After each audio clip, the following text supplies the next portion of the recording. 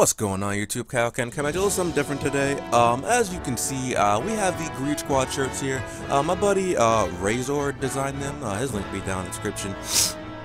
But uh, yeah, these Greed Squad shirts uh, is a thing that uh, Duncan, Knee Deep, uh, Mr. Matic, and myself are doing. Uh, as you can see here, I've got some different colors.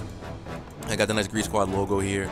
Uh, it's basically here to help uh, both Abe and myself get uh, Japanese captured devices. So when Monster Cross comes out, we can provide quality content for you guys out here that enjoy playing Monster Hunter.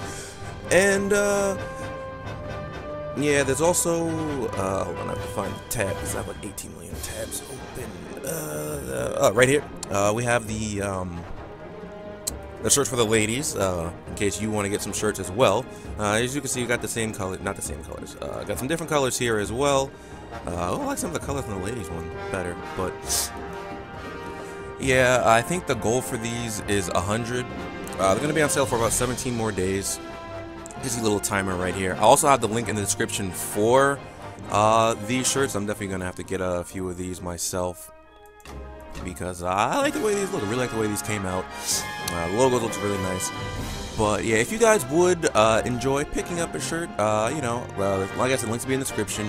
And uh, we would all greatly appreciate it since uh, it'll help us provide more content for you guys once Monster Hunter Cross comes out. Because we were planning on doing separate playthroughs of, um, you know, like how we play and stuff like that. And probably some multiplayer hunts like Duncan I did at the start of Monster Hunter 4U, I believe.